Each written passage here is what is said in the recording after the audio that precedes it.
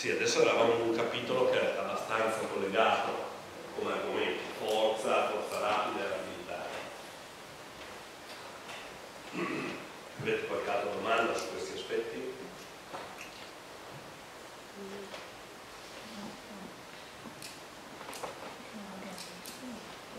Allora, per misurare l'ampiezza dei movimenti abbiamo due tipologie di test, test lineari e test angolari. Nei test lineari io misuro la distanza tra due parti del corpo, come nel test eh, di flessione del tronco, si conosciuto mondiale, è il test più usato nel mondo, dipende dalle capacità di allungare soprattutto i muscoli posteriori della coscia e vedete che la distanza che vado a misurare è quella tra la punta dei piedi e la punta delle dita delle mani. Eh, chi riesce ad andare oltre il dei piedi fa dei risultati buoni, chi invece non ci arriva è carente. Altre volte nei test lineari posso misurare la distanza tra un punto del corpo come il cube e il pavimento in questa divaricata un'altra famiglia di test con i goniometri che mi permettono di fare delle misure angolari di tutte le ampiezze, di tutte le articolazioni, anche quelle delle palme, delle dita, perché i goniometri più grandi valutano l'ampiezza dei movimenti a livello delle grandi articolazioni, spalla, anca, ginocchio e gomito, e dopo ci sono goniometri via via sempre più piccoli, eh, articolazioni più piccole. Nel caso di infortunio, questi goniometri mi permettono di confrontare l'arco sano con l'arco non sano e voi sapete benissimo che la prima cosa che va a vedere il fisioterapista e anche voi se vi occupate di un infortunato è cos'è? Non tanto la forza, la forza è guadagnare il rombo. Bene, finché il soggetto ha un'ampiezza di movimento più ridotta nell'arto dove ha avuto l'infortunio, bisogna lavorare più sulla flessibilità, sull'ampiezza del movimento. Dopo penserò alla forza. Perciò la prima cosa da fare in fase di recupero dell'atleta infortunato è guadagnare l'ampiezza cardiaca. L'ampiezza cardiaca, se non l'avete misurata prima, la confrontate con l'arto sano.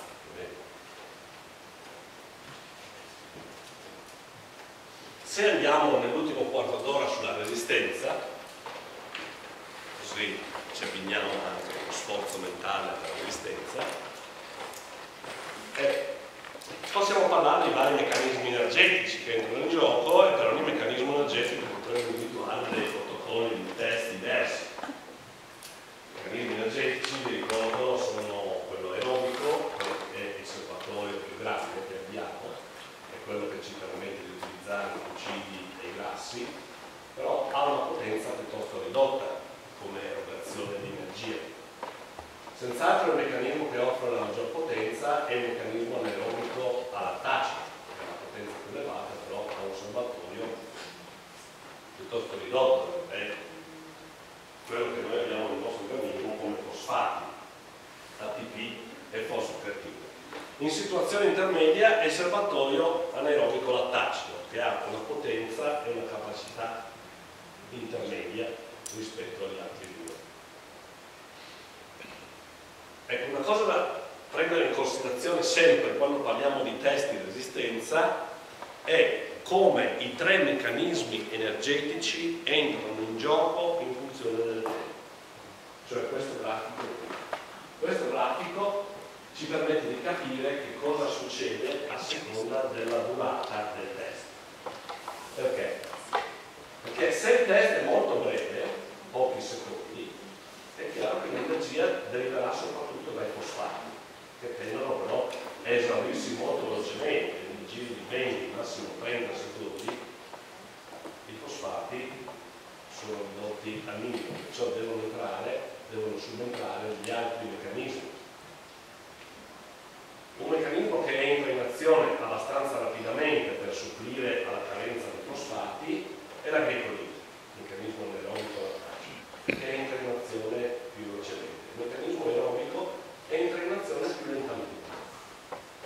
Perciò se siamo su sforzi che durano tra i 30 secondi e i 2 minuti, la glicolisi è entrata in azione fornendo il massimo delle sue potenzialità, ma il sistema aerobico no, non è ancora entrato in azione, vedete che da un contributo che potrà oscillare tra il 30 e il 70% ma non fornisce il 100% delle sue possibilità. Con questo grafico ci spieghiamo perché Cooper quando ha validato il suo test e approvato il test di due minuti, il test, il test di un minuto, il test di due minuti, non ha trovato correlazioni elevate col consumo di ossigeno. Adesso ce lo spieghiamo con quel grafico, avete capito perché le correlazioni sono molto più strette tra consumo d'ossigeno e un test di 12 minuti. Perché dopo i 5-6 minuti la performance dipende molto dal meccanismo aerobico, però solo dopo i 5-6 minuti. Ecco, i 12 minuti sono sicuro che la performance dipende molto dall'aereo. Perché perlomeno metà test dipende dalla potenza del meccanismo aerobico. Se faccio test molto corti, di un minuto, di due minuti, la performance dipende poco dall'aerobico e dipende più dal versante anaerobico. Questo ci spiega le correlazioni che ha trovato Cooper facendo test di diversa lunghezza. Vedete qui il contributo in prove di 10 secondi, 30 secondi, di un minuto e mezzo dei vari meccanismi energetici.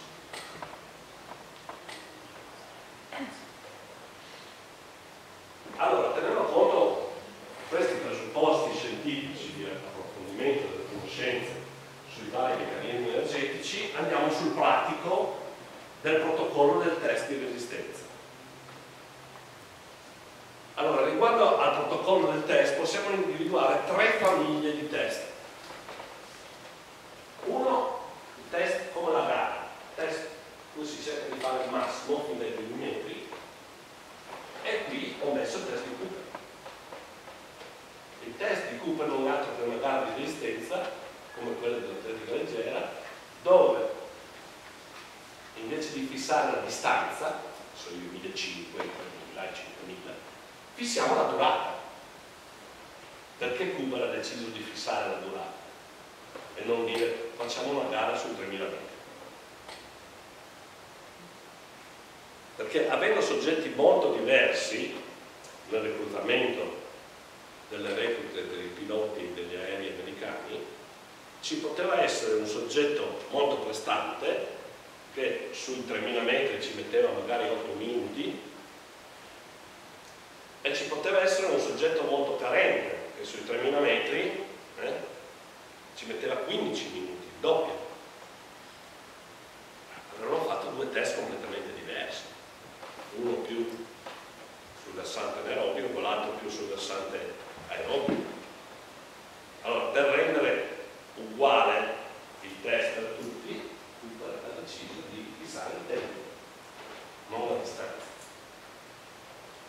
E ovviamente il risultato del test si misura in media.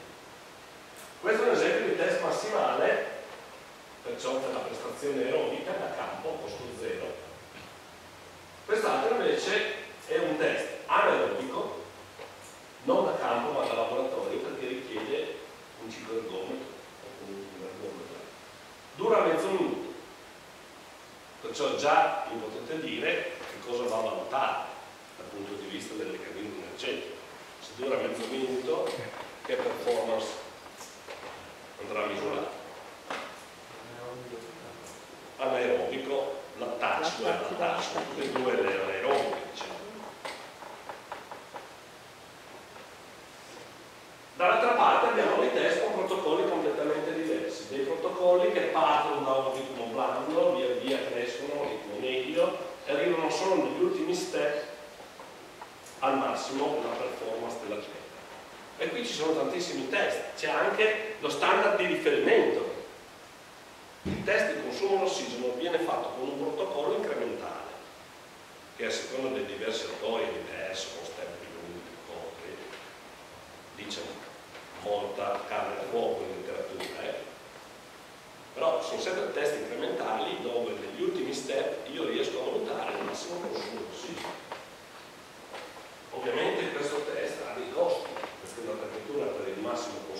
Oxygen eh, costa 25.000 euro, cioè non è alla portata di tutti. Invece il professor Conconi negli anni 70, quando nascevano i primi cardio, ha inventato un test a costo di un cardio.